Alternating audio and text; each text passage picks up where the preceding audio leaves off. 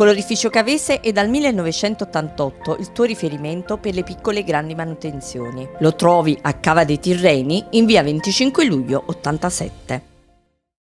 Claudio De Rosa è tornato alla Cavese due anni e mezzo dopo. Proprio giovedì la società del presidente Alessandro Lamberti ha comunicato l'ingresso della bandiera del calcio metelliano nei quadri del club in qualità di responsabile del settore giovanile.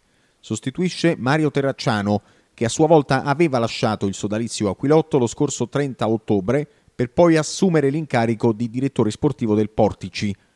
De Rosa, che compirà 42 anni a breve, ha un passato di calciatore fino alla Serie C1 è stato un esterno offensivo molto prolifico in zona gol, tanto che nella Cavese, tra Serie C, Serie D ed Eccellenza, ha totalizzato 106 reti, dato che fa di lui il miglior marcatore di tutti i tempi nella storia degli Aquilotti ed è anche il calciatore con più presenze nella storia della Cavese, 235, parecchie delle quali con la fascia di capitano.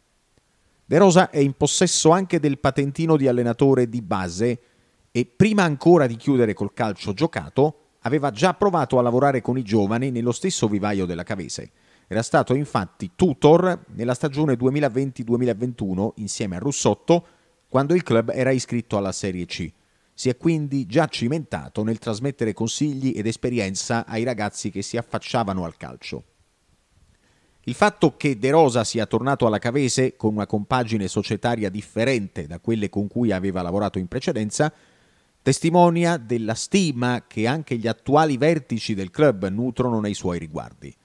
Claudio, che ha un posto speciale nella nostra storia in quanto detiene il record di presenze e gol con la maglia della Cavese, metterà a disposizione dei giovani Aquilotti la sua esperienza, la passione e uno spiccato senso di appartenenza. Questo ha scritto la società Cavese in una nota diffusa alla stampa.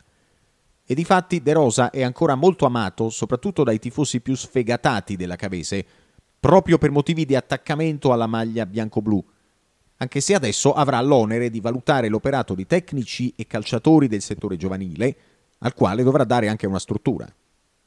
Numerosi i messaggi di auguri per Claudio De Rosa nel ricoprire il nuovo incarico da parte di ex compagni di squadra, altri ex calciatori, ex dirigenti ed ex politici dai Pasquale Scarlino ai Sergio Russo, ai Christian Piccirillo, a François Cabangul, attaccante congolese che era stato compagno di squadra di De Rosa nella stagione 2013-14, per arrivare anche a Gerlando Contino, l'attaccante che in poche partite disputate arrivò a segnare 10 gol, alcuni dei quali proprio su assist di De Rosa.